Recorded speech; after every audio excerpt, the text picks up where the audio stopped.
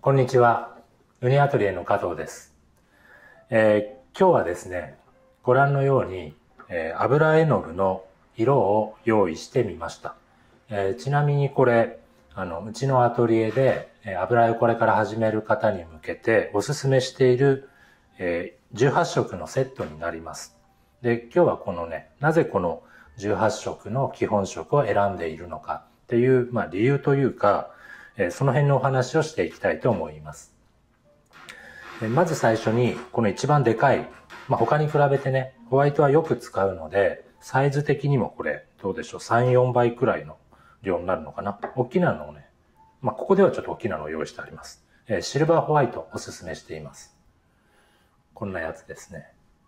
で、シルバーホワイト、なぜシルバーホワイトを選んでるかっていうと、あの、他にジンクホワイトとか、ファンデーションホワイトとか、フレークホワイトって、まあ各種メーカーからいろんな名前のホワイトが出ていたり、あと日本だと結構ジンクホワイトをあの好んで使われる方多いと思うんですが、私はこのシルバー、え、おすすめしています。他の絵の具に比べて、え、非常にこう絵を丈夫にしてくれるんですね。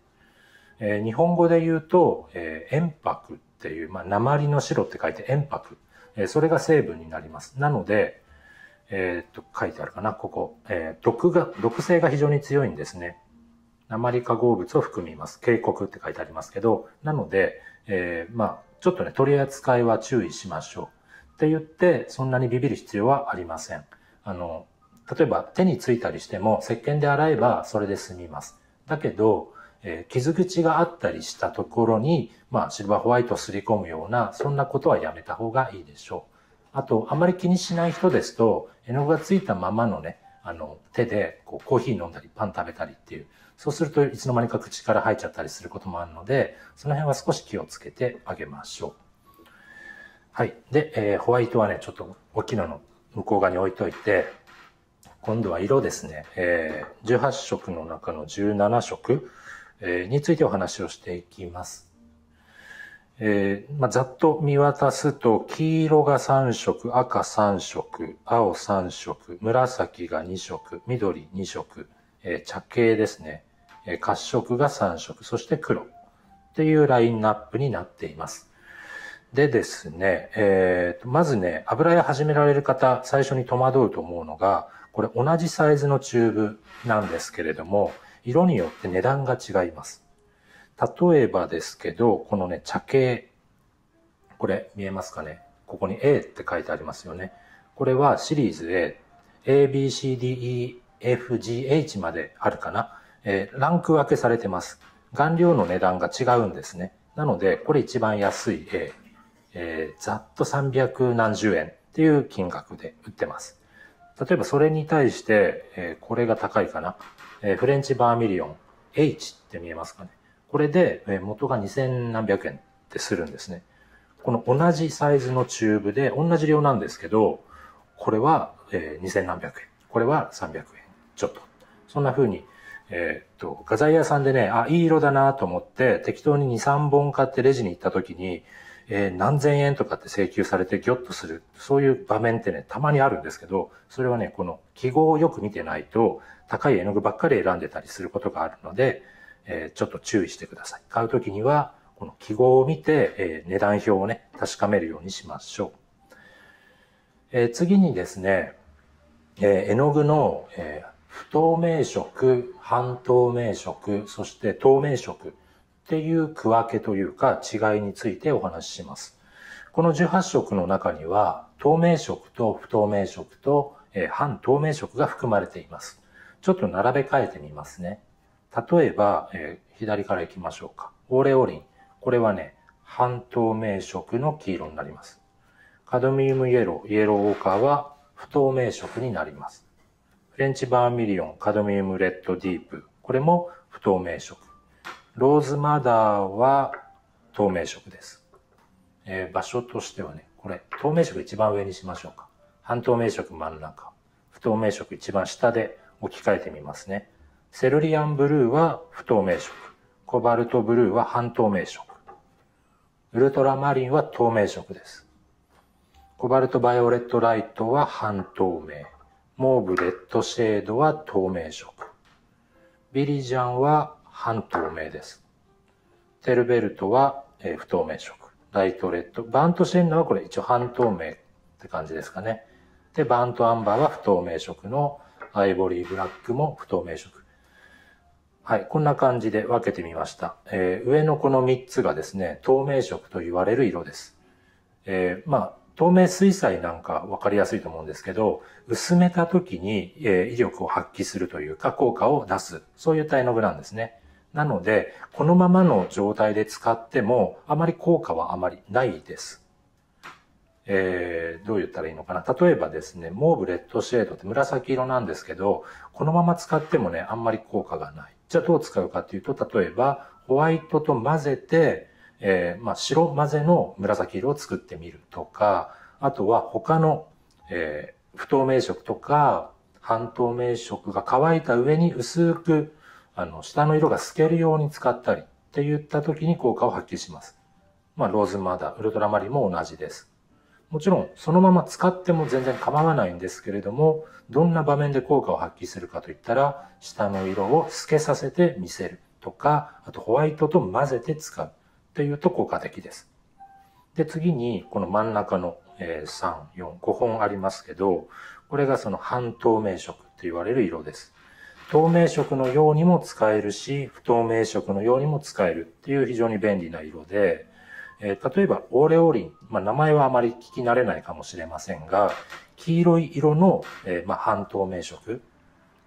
なので、ちょっとね、品のいい黄色、えー、出そうと思ったらこれって覚えておいてください。あのね、パッケージの色じゃちょっとわかりにくいんですけど、これチューブ開けるとね、こんな感じ、わかります？えっ、ー、とね、イエローウォーカーに近いような、ちょっとこう、なんて言うんでしょう、渋い黄色というか、黄土色っぽい黄色なんですね。なんですが、これこのまま使うんじゃなくて、薄めて使うと、すごくね、こう、他の色を染める力が強い。特にこうホワイトと一緒に、ホワイトに混ぜて使うとね、品のいい黄色に出してくれます。えー、あとまあ、例えばよくね、空色って皆さんイメージするのってこのコバルトブルーだと思うんですね。こんな色です。はい。真っ青って感じの。空色っていうかね、青色って感じのね。で、これは薄く薄めて使ってもいいですし、このまま不透明な感じで使ってもいいって非常に便利な絵の具になります。で、それに対してセルリアンブルーは少しニュアンスがわかります。ちょっと、ちょっと緑がかってる感じってわかりますかね。さっきのコバルトブルーと比べるとですね、えー、これも非常に品のいい色なんですが、不透明色としての扱いになります。えー、あとね、特殊なところで言うと、このコバルトバイオレットライト。わかります？えっ、ー、と、目のいい人は気づくと思うんですけど、これだけちょっとメーカー違うんですね。他はすべて今、草壁で用意してるんですけど、このコバルトバイオレットライトっていう色だけはホルベインのあのセットに入れています。なぜかっていうと、えー、草壁のコバルトバイオレットっていうのはライトっていう色名の色がないんですね。で、この色ってメーカーによってだいぶ違うんですが、えコバルトバイオレットライトってこの色をね、あのセットに入れたくて、一色だけ違うメーカーの、あの、組み合わせています。で、コバルトバイオレットライトの特徴は非常に脆い弱い絵の具です。えー、簡単に言うと食われちゃいます。他の色と混ぜた時に他の色が勝る、かつ。で、えー、あまり混色に向かないというか、これは単色で使う方が美しく発色してくれます。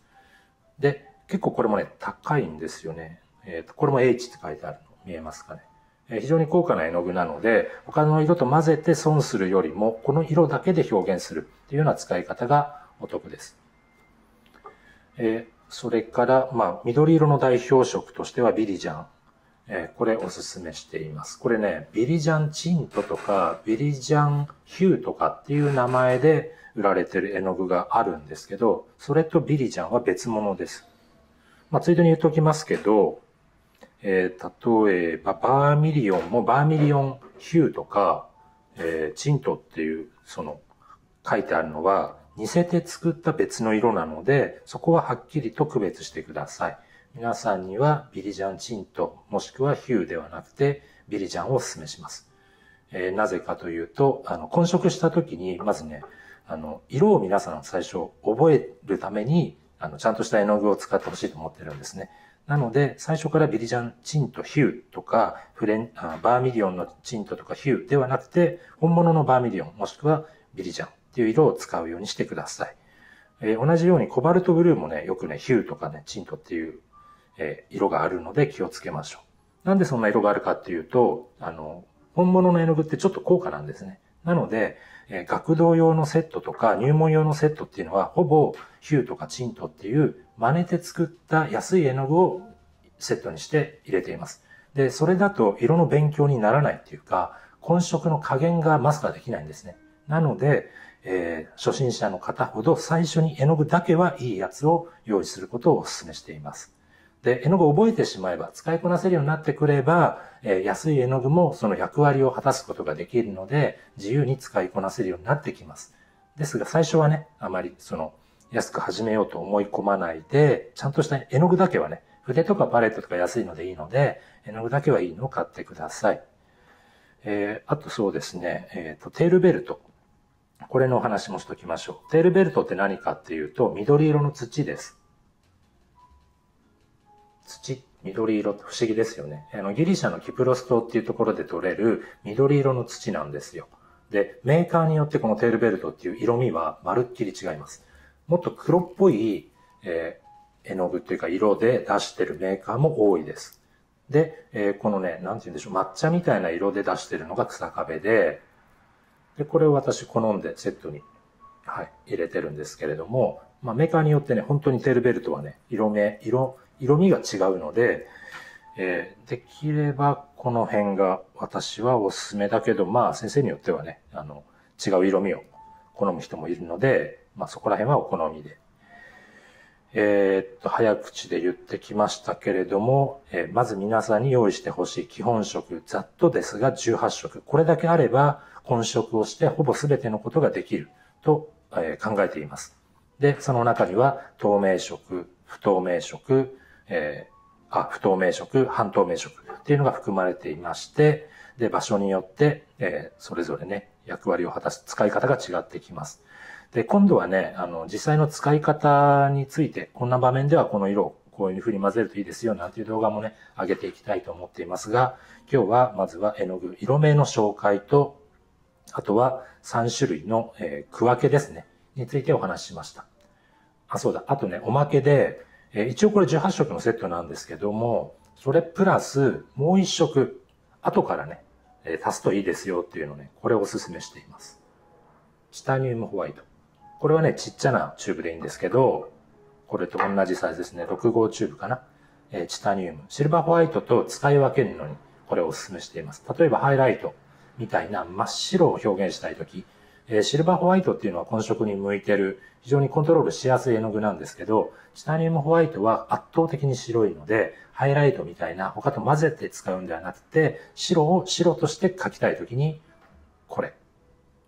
まあ、ピンポイントでしか使わないんで、ちっちゃなチューブでいいと思います。え18色プラス1色っていうと、これをお勧めします。はい。えー、以上で今日の、えー、絵の具のですね、えー、基本色、アトリエでお勧めしている18色セットの、えー、解説でした。それではまた。